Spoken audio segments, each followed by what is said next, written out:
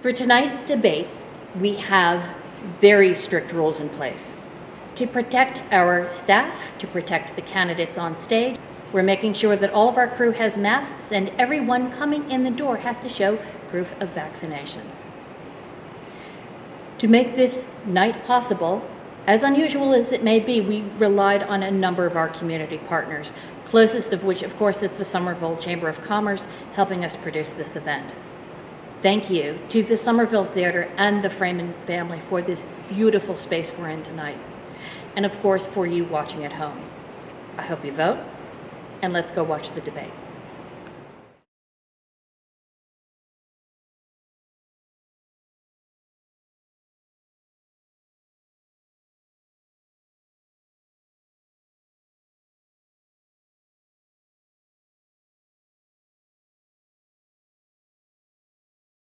Hello, I'm Steve Brown from WBUR here at the historic Somerville Theater.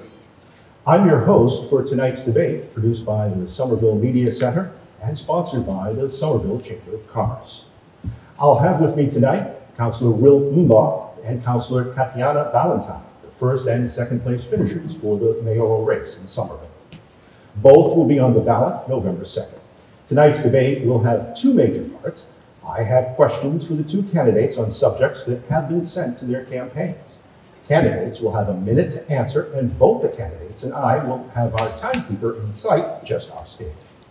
In the second round, candidates will ask questions of each other with 30 seconds for the question and one minute for the answer. Candidates will be allowed both opening and closing statements of two minutes each. So we will get underway. Your opening statement today will be with Katjana. Hi, I'm Katjana Ballantyne. I'm running for mayor of Somerville. I'm optimistic about our future because I know from experience in Somerville when we work together, we can accomplish anything. Our next mayor must have three key qualities. She must embody the cultures and values of Somerville. She must have an inclusive leadership style, and she must have the skills and experience to be chief executive. I best bring those three key qualities to the mayor's office. I was born and orphaned in Greece, adopted there by my Scottish father and Czech German mother. We are a family of immigrants, and we immigrated to the United States when I was four. I learned then that some people are afraid of differences. It could be your accents, it could be your foods, or it could simply just be your culture. I learned the important lesson to include everyone and value differences. I was the first in my family to go to college. I worked as an aide for children with disabilities, as a lifeguard, and I used student loans to get a BA and an MBA. I've worked for over 30 years and I have professional experience in international supply chain management, nonprofit, and local government. I've served on the city council seven and a half years, twice elected city council president, and my professional and adult experience has taught me to value inclusive leadership. I've moved to Somerville in 1993. I felt I could fit in, and I'm grateful that my husband and I have raised our two daughters here. My vision for Somerville is a city that is equitable, inclusive, where we can all thrive together, no exception. If you share in this vision, I ask for your vote on November 2nd. Thank you. Thank you. Will Mbah. Thank you. My name is Will Mbah. I'm City Councilor at large and candidate for mayor. I'm running for mayor of Somerville because for too long the needs of the most marginalized in our communities have been ignored. Government is not working for them, and because it's way too hard for people to live and raise their families here. I know exactly how this feels. I'm an immigrant from Cameroon, and I know what it's like to feel like you're working hard but barely getting by. My parents both died when I was a young boy, and I was raised by my family members and in a foster home. In 2010, I was lucky enough to receive a visa to come to the United States and work. But when I came here, I saw that our government did not always work for you when you need it most. So many people in Somerville have a similar experience. Whether it be with housing or education, I've experienced these issues as well. I know what it's like to move every year because of rising rents. I know how issues of environmental justice are intertwined with issues of racial justice. There have been progress on some of these issues, but it has not happened quick enough. And until we have a government that reflects the population, how can we talk about issues like racial equity and environmental justice? That's why I'm running for mayor, to accelerate our community's progress on these issues and change the conversation. I have a track record that demonstrates what we can achieve if- I'm elected mayor. On the city council, I led the effort to create the Office of Housing Stability because I know how it feels not to know where you're going to live. I led the fight to ban racial profiling because it was a step towards justice. And I've been there to tackle problems big and small whenever our neighbors have needed someone to fight for them. Right now, families in Somerville do not have a seat at the table, but developers and special interests on outside of our community. And I promise, if I'm elected mayor, I'll change that. Thank you. Thank you. We'll now go to our question and answer portion of the debate. Candidates have a minute to answer, and if you bring up your opponent in your answer, he or she will have 30 seconds to respond. A reminder, I'll be a stickler for time, so please stay within the limits. Uh, The first question is for both of you uh, regarding the MBTA. Will Mbah wants to make the MBTA fare-free. Katjana Ballantyne wants to change streets to accommodate multiple ways to get around. These are big initiatives that require state funds and state approval. What specific Somerville initiatives will you put forward to make our streets accessible to all? Katjana, first. So thank you. I'm committed to investing in safe streets. It's necessary to make Somerville a place where we can all thrive together. We need people-centric cities, making streets work for those who live and work here. Eight out of 10 cars traveling on the roads of Somerville pass through. They do not stop at a business. They do not stop at a house. So we need to prioritize the streets for the people who live here now. Smart policy makes it so bikes, cars, and pedestrians aren't competing for the exact same streets. So I will work on making sure that our streets are available and accessible for all users, including people with disabilities. Thank you, Steve. I want to say this issue is very personal to me. When I moved into to Somerville from you know Sweden, I did not have a car, and so I spent more time commuting, you know, than visiting my friends and family. So this, and also as a founding member of Somerville Alliance for Safe Street, I've been working, you know, very hard on these issues to make sure that we have traffic calming measures in this city. I recently just even put another board order to make sure that we, we actually put uh, uh, children crossing sign and- in all our intersections. These are issues that we need to take seriously. When you're a senior year and you're a person with disability, you're almost invisible in this community. We need to change that. We need to invest in our community to make sure that our streets are safe. And the most people even suffering from this street safety, they are the most marginalized. Look at McGrath Highway. The same people suffering from street safety, the same people suffering from noise pollution. So that is what I I'm committed to do as mayor. Thank you very much. Uh, Next question is uh, directed to you, Will. Uh, You have said that you will work to ensure that women who have shouldered the worst of the pandemic have the resources they need to return to their careers and ensure their children are taken care of. What are the specifics of that plan? Thank you for that question. Again, this is something that is very personal to me because I have two children and, and just this pandemic has shown just how much my wife has put enormous sacrifice, you know, in most women have put to have to put their career on hold because of this pandemic. So one of the things I will do is to analyze, you know, like the, the gender pay gap in the city to make sure that, you know, women are paid equal pay for equal work. Because right now we don't have that statistic. We need to make sure that women are supported fully. Hire a new director for the summer, empower the Somerville Women's Commission to make sure that they have the resources to be able to support each other and, and thrive in this pandemic. This is something that we don't we don't do that enough as a city. We don't support and, and most of the people, the women even who have gone through this are the most marginalized. Just one everybody has gone through this uh, uh, uh, pandemic, but the most marginalized are the ones that are suffering the most. So I will make sure that equal pay for equal work and support marginalized women. Thank you. Uh, Katjana, as your website says, families will need support to get their lives and children's education back on track. What are you offering that's different from your opponent?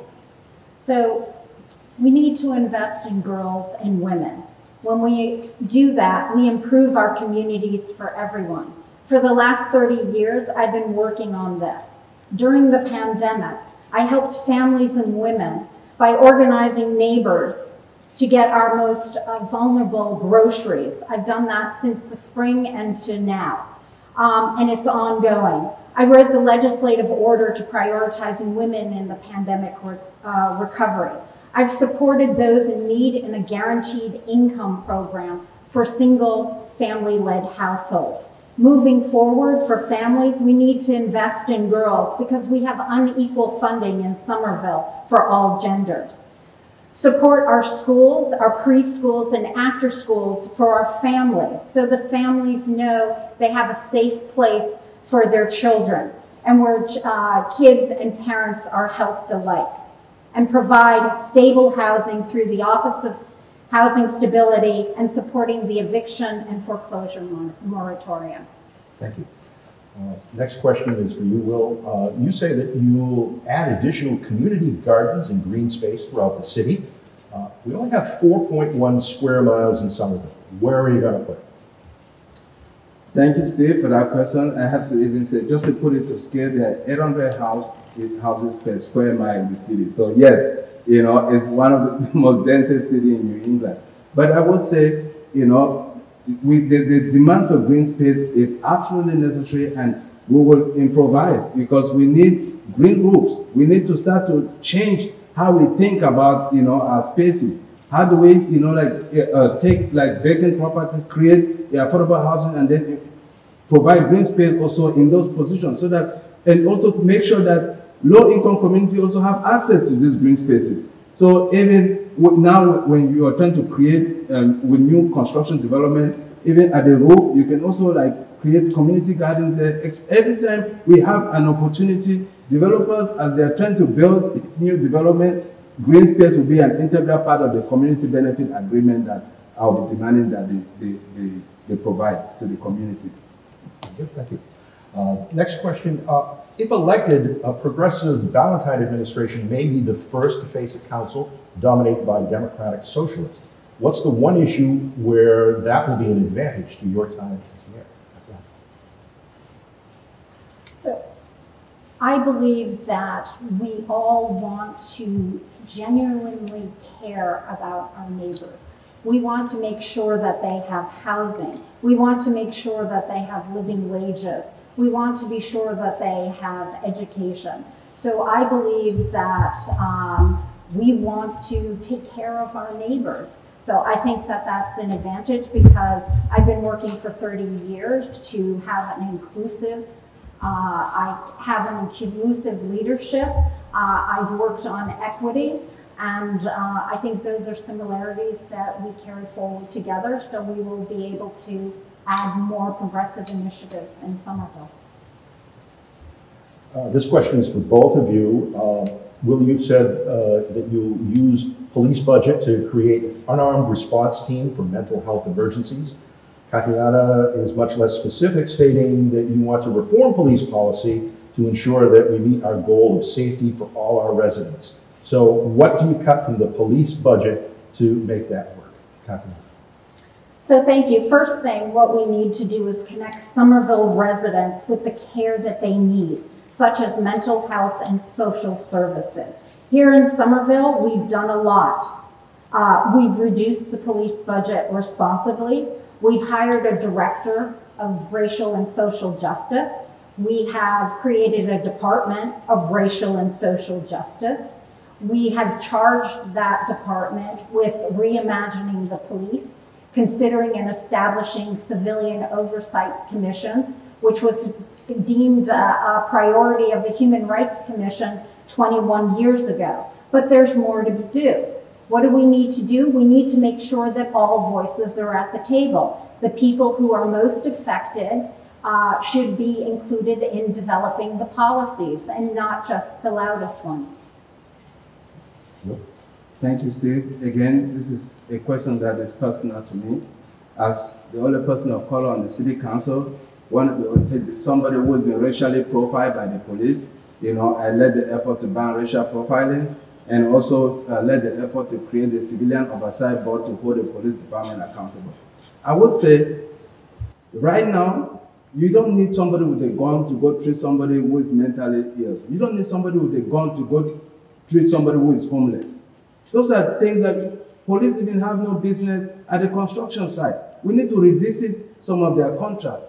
That is how you kind of like divert. You don't even need police in the schools because schools are meant for guidance counselors. We need to reallocate those resources. And, and they themselves have spoken to a bunch of them. They don't. They say, "Well, I don't want to go address a homeless person.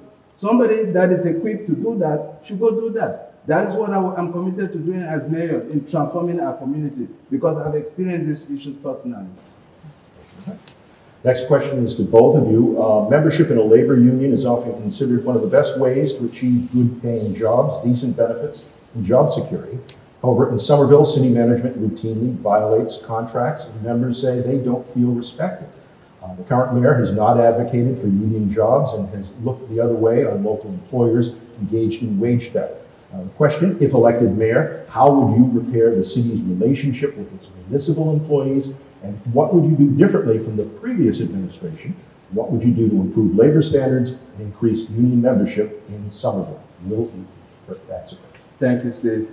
Again, this is also something that is personal to me. I came into this country, one of my first job as a custodian at MIT. I was a member of 32BJ. I know the, the benefits of union. They protect workers, they protect families. Right now at my state job, I'm a member of MOSES, Massachusetts Organization of State Engineers and Scientists. I know the benefit of union, so I will empower and enforce our wage theft ordinance. Only, you know, contract with employees that encourage their workers to be to do to to unionize. You know, and, and ensure that there's project level agreement in every you know like contract that will be happening in the city as far as development is concerned. That's what I'm committed to do because this is how you empower your community. You empower your municipal employees to thrive. Thank you. Yeah. Thank you. Uh, I've been working for 30 years on the same things the unions value.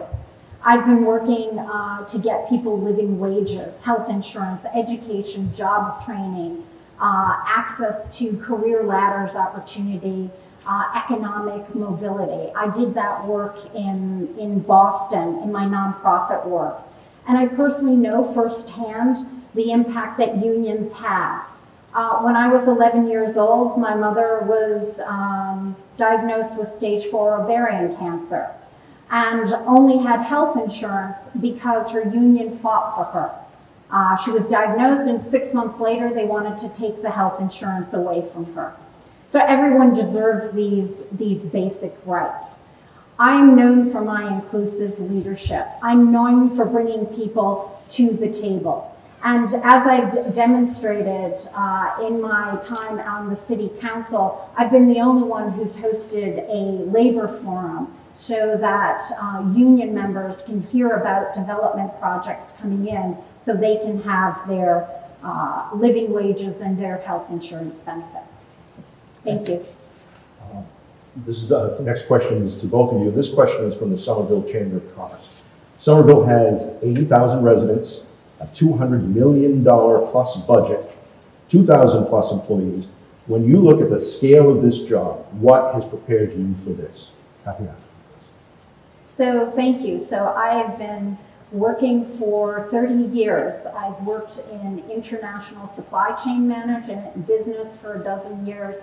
I've worked in startup organizations. I've also worked in the nonprofit world, working in economic development for an affordable housing developer, uh, creating um, skills training, career ladder opportunities, looking, uh, also working to create green economy jobs in energy efficiency, and I've led a violence prevention nonprofit for at-risk girls.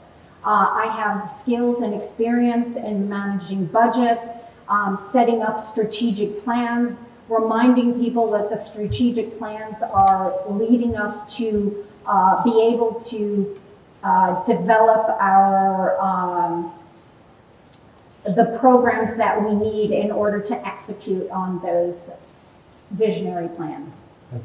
Uh, well, same question, uh, what has prepared you for this job? Thank you, Steve. I want to say uh, I'm a proponent you know, of supporting our small businesses. We've done that, you know, ever since the pandemic started on the city council. I want to be clear that, you know, I am not opposed to development, but development that doesn't protect our residents and small businesses Maybe this is not where you want to do your business. You want to come develop because that is what I would do. Use every tool in my power to create a community benefit agreement and a community impact report. Empower community, give power back to the community because they are the one that will, you know, will elect one of us to the mayor's office. How can you not empower them and say, you know, we are at the epicenter of development right now. So how can you empower communities, you know, who are the small businesses and residents are the heart and soul of the city? How can you protect them, you know, in this phase of development in the city? That is what I'm committed to do. Um, It's now time for the second part of our debate, where the candidates you mix it up a little bit. Uh, They're going to be posing questions to each other. Uh, Each may take a minute to ask the question, and the other will take a minute to answer. Katjana, you will get to ask the first question.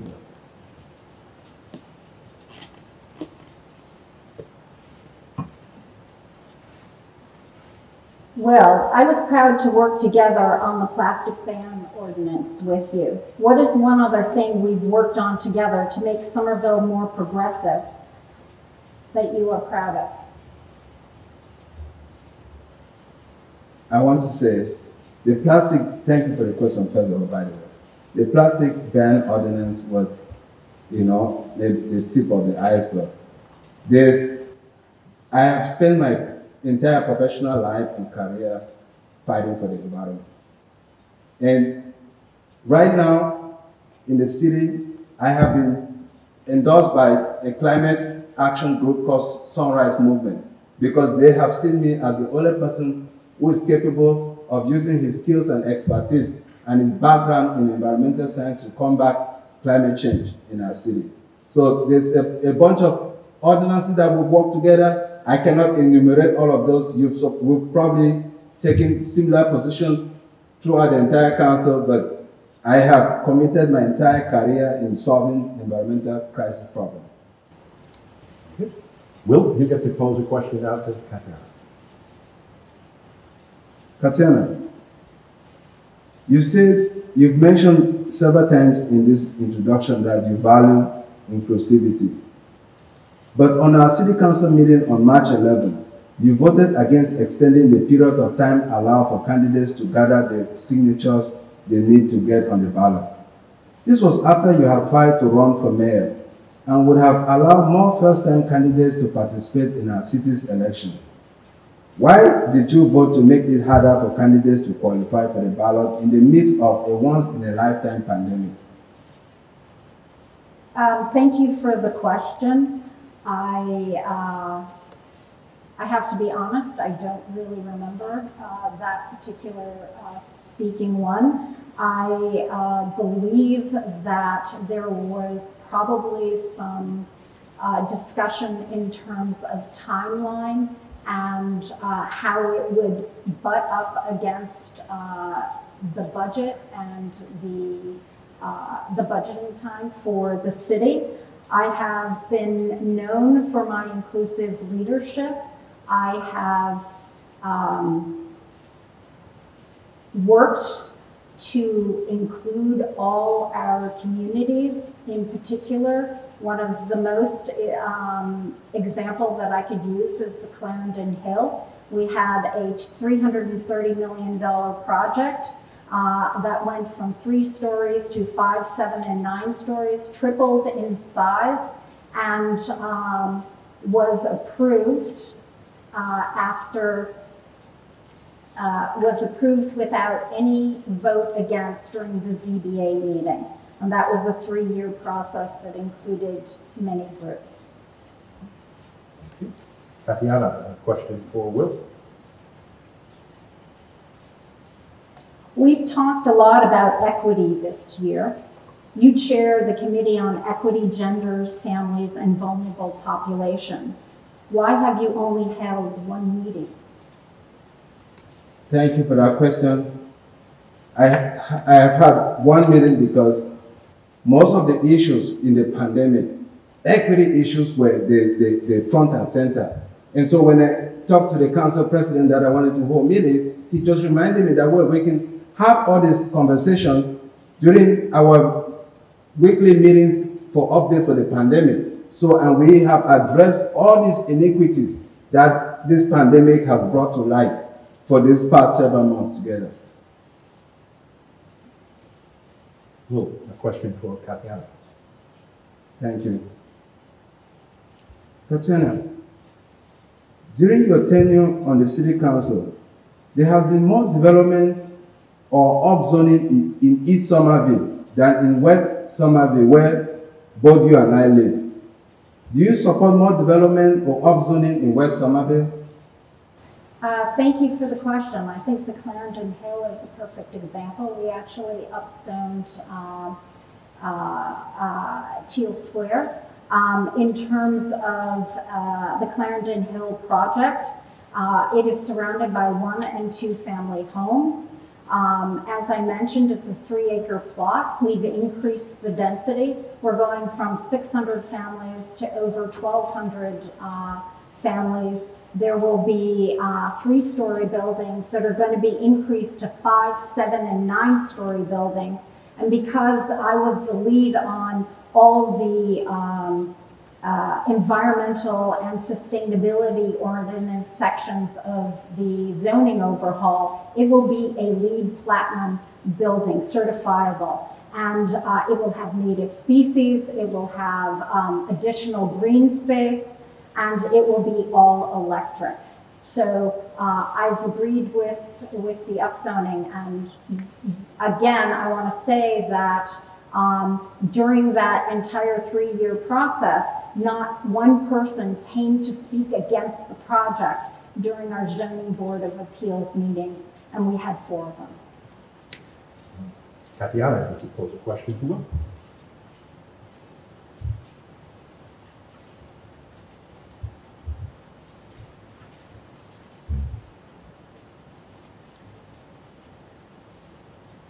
Women, especially women of color, have been disproportionately impacted by job losses due to COVID. Earlier this year, I proposed and co-sponsored a resolution calling on the mayor's administration to implement various measures in prior- prioritizing women in our post-COVID recovery. I collected groceries every month for the last 15 months to help families during COVID, and I trialed a guarantee income program. What will you do as mayor to help address the unique economic issues that women and families face now? Thank you for that question. I just provided this answer, you know, in the, in the course of our debate about, first of all, gender parity. And I said these were issues that were personal to me. I've seen the sacrifice that women have made in this pandemic. And they, some of them have even had to forego some, their career, you know, because of the pandemic, to take care of their kids and their family. So I said that one of the first things I would do is to, you know, uh, use summer start, analyze the gender uh, uh, parity gap, equal pay for equal work, to empower women, and also empower the Somerville Women's Commissions, give them the tools and resources they will need to be able to like do their job. Hire a full-time director also as well. But so these are the things that I, I have said it here before, and I'm glad that we are also thinking about those things together. But that is what I'm committed to do to empower our women and our community members to be able to uh, do their go back to work and take care of their family. Even bringing universal pre-K to the city so that they don't have to stress on that. Thank, Thank you. Thank you. Will, if you could pose a question to Katjana. thank you. So, Katerina, the school committee and superintendent Skipper are considering bringing police back into the schools by reinstating the school resource officers program. Do you believe police have a place in our children's schools? Uh, Thank you for the question. Uh, No, I don't think there should be armed police in our schools. Uh, I think the only time uh, there would be a need for that is if there was some violent issue going on that required that. I'm just going to follow up. Uh, answer your own question that you just posted, to Katjana. Oh, thank you, Steve. I think police have no place in our children's schools. So You're both on agreement. Yes. Okay, I just, just wanted to, to pop in there. Uh, Spark, forgive me for interrupting. Katjana, you're, you have the next one. Thank you. Will, you have said on your website that we need a Somerville Green New Deal. We have one. I wrote it. You voted for it in September of 2019. Why are you saying we need a new one? Or why do we need one? Thank you for the question. I think your Green New Deal was, was a statement of values and intent. It summarizes what some of the, the, climate forward is looking for as far as the issues are concerned. I think it was limited in scope because it has no element of the, the, the, the wealth gap wasn't there, racial justice wasn't there. I did not say anything about ecology. So that is why my own new Green New Deal will be a Green New Deal written, you know, by the people and for the people that are most impacted by climate change. So, I'll- I'll a give you- comment on that, um, I will just correct the record. If people want to go onto the city's website, you will see that it in fact is a visionary transition plan. It talks about the built environment, um, vulnerable populations. It talks about green economy jobs. It talks about what the international community is doing, what the Somerville community is doing. It is a visionary transition plan that covers everything, not just one thing. Can I follow up? I think Yeah, you talk about in, in your Green New- New Deal, you talk about carbon pricing. Isn't that, you know, like a, a preference of the oil and gas companies? Um, I am talking about moving away from fossil fuel. Um, and, uh, the visionary plan, and it's a transition plan, and the climate activists in Somerville have strongly been supportive of it. Okay. Yeah, the same climate activists that, you know, in some of it, like, uh, uh, Sunrise Movement have endorsed me as the only candidate that is capable to combat this climate crisis. Um, uh, Congratulations uh, on that. What I would say is I have been the lead my entire tenure on the city council. I have authored the Somerville Green New Deal. I have organized coalitions of activists, building scientists, uh, urban planners, architects to help craft the LEED Platinum certifiability of the zoning court. I organized um, naturalists to incorporate the green store, green score in uh, the um, zoning code. And I worked for three and a half years getting the native species ordinance through. All those things put Somerville on the map. I did that by organizing uh, the groups. And um, the rest of the state and the country understands that I put Somerville on the map as a leader. Well, new topic, new- new question. Yeah, thank you, Steve. So, Katjana, in 2017, you filled out a questionnaire and indicated that you would accept donations from for-profit real estate developers. However, when you ran for mayor, you changed your mind and stated you will reject contributions from for-profit real estate developers.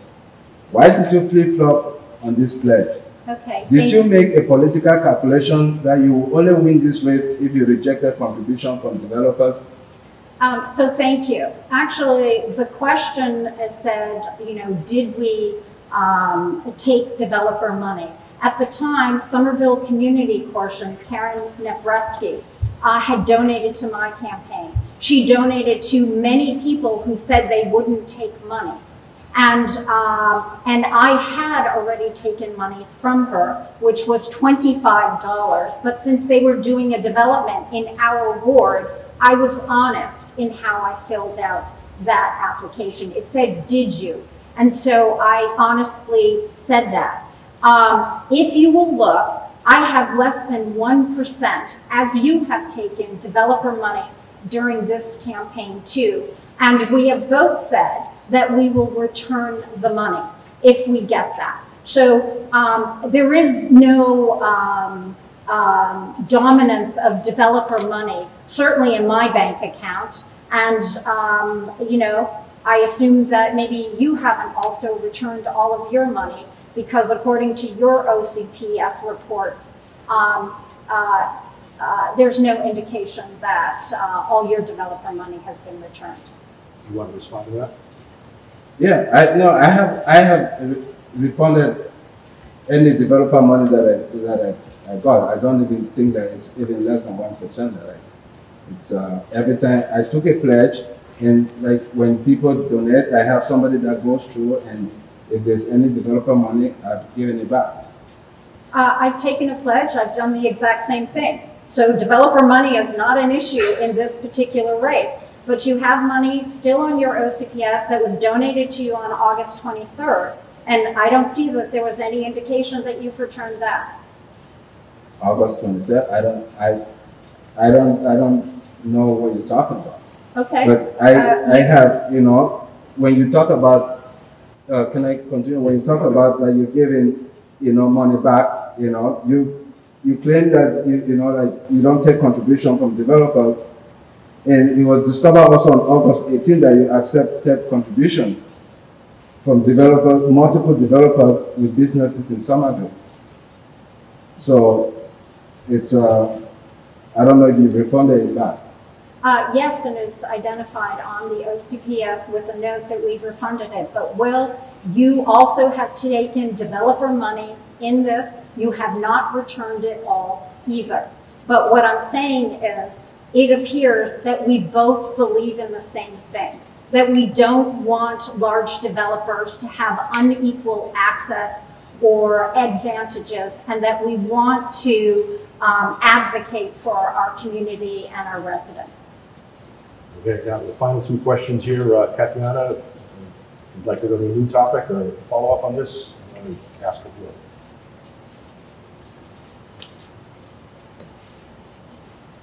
is, uh, yes, so, um, Will, you've claimed that you've created the Office of Housing Stability. And it was first proposed, uh, in, actually through Somerville Community Corporation and the Affordable Housing, uh, Trust Fund. Uh, and it was actually first proposed in the 2015, uh, Sustainable Neighborhoods Working Group recommendation as a housing assistance center. We all voted for it unanimously to create the office after being urged by the mayor during his inauguration on 2018, which moved our city forward. Why are you claiming that you created the Office of Housing Stability when in the community, when people in the community had been working on it before you first were running for city council? Thank you for that question. When I ran for office, that was the, those, those were issues that were on my literature. So whether it appeared in some sustainable materials or stuff, something, it wasn't, it wasn't created until we got into office. And just as a point of correction, I did not say I created it. I said I led the charge because that was something I campaigned on. We came, I'm a movement candidate. So we, it, it, I never take credit for anything, but I led the charge because that was something I ran on affordability. Affordable housing was a big issue, and I ran on that, said I will create the Office of Housing Stability. Most other city councils that were also running that campaign that year. I came with five other uh, city councilors. We led that charge, I led that effort, and I still stand by leading that effort because if we were not in, in office, that would not have been created. There's so many things that are so fancy, it's written everywhere, but no, no action. Just as a response to that is, I would say, no, uh, we have slowly ticked away at that list. If you look at the recommendations that are in the Sustainable Neighborhoods Working Group list, the City Council has been working on all of those. Um, so, uh, you know, even university housing was, was on there, community land trust, using DIF financing. Will, final question for Katjana? Thank you.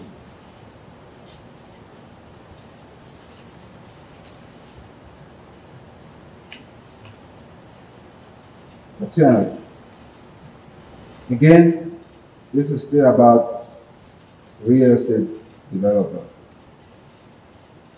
You claim your campaign does not accept contribution from developers. So when it was discovered on August 18 that you accepted contribution from multiple developers with businesses in some of Somerville, you said, quote, my campaign refuses refunds developer donation. The OCPF record will show the refunds when they are processed, end quote. Since then, two OCPF filing deadlines have come and gone, and records show these contributions have not been refunded. Why should voters trust you will hold developers accountable when you make no effort to return the contribution you receive from them? And why haven't these contributions been returned? Um, that is misinformation. The money has been returned.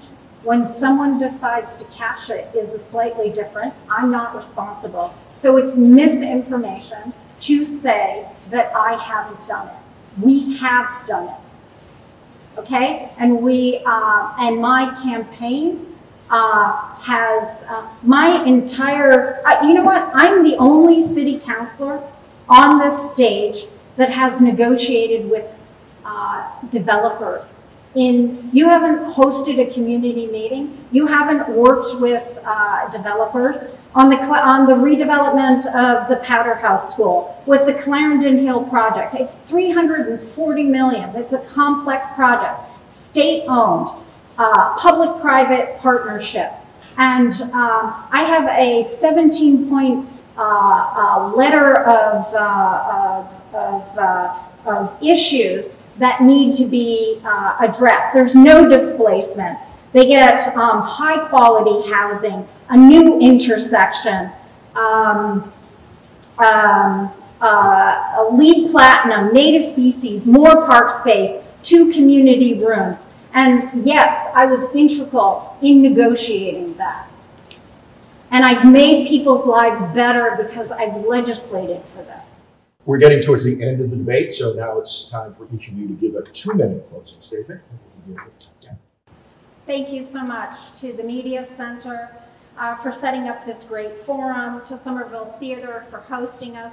Will, thank you for the great conversation and the debate. And Steve, thank you for moderating. Our next mayor must have three key qualities to do the job we expect and deserve. A commitment to our values and culture, an inclusive leadership style rooted in transparency and engagement, a proven experience to be chief executive of our dynamic city. I'm running because I best bring these three key qualities to the mayor's office. I have proudly supported and enacted progressive policy solutions addressing affordability, the environment, transportation, responsible development, and many issues according to our shared values. Many of these we have talked about tonight. I have not only made sure that the voices of our many active residents are heard, but I've worked to listen to the voices of our neighbors who can't always attend our meetings.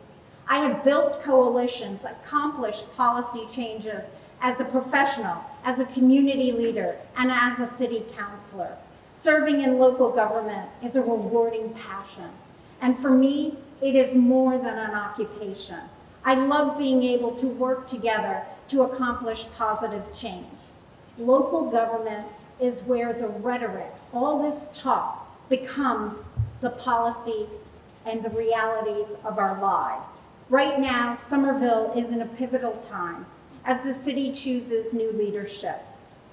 We will need experienced, progressive, inclusive leadership more than ever. That is what I believe is at stake in this election, that is the leadership I've shown for many years, and that is why I'm running for mayor. I ask for your support in the month to come and for your vote on November 2nd. Thank you. Thank you. Will. Thank you, Steve, and uh, everybody also. Thank you to my council. Uh, it was a great debate. I want to say, only in Somerville is my story possible. Only here could an immigrant who knew no one be embraced by a community of strangers, start a family, and get elected to the city council. But right now, the story is out of reach for too many. If I was to move here today, I don't know if I'll be able to stay here and live the American dream that I have. That's why I'm running for mayor. Not just to ensure that my story remains possible for the next generation of immigrants, but to ensure that residents that have lived here for generations can stay here. And that children can also stay here as well. If we are going to be a progressive city, we strive to be, we need to put people and businesses that make our great city ahead of developers, special interests who seek to profit from their own expense. That's why I'm committed to doing. I'll end by saying this. Like many immigrants, I have an accent. Some of you might even have trouble understanding me. But as you have seen here tonight, my vision for Somerville is crystal clear. I hope to end your vote on November 2nd. And thank you. God bless this city and God bless this country. Thank you both. That wraps up all the time we have for tonight's debate. I'd like to thank you both for, for taking part, sticking to the, the time, and, and, uh, being good sports. I really we appreciate that. Um, also want to thank the uh, Somerville Media Center, uh, the Somerville Chamber of Commerce, and especially the Somerville Theatre for hosting us here tonight. I wish we could have an audience, but obviously, uh, given the times, we have to do it this way. This has been a production of the Somerville Media Center with the Somerville Chamber of Commerce. I'm Steve Brown from WBUR. Thank you, and thank you to the candidates, and good night.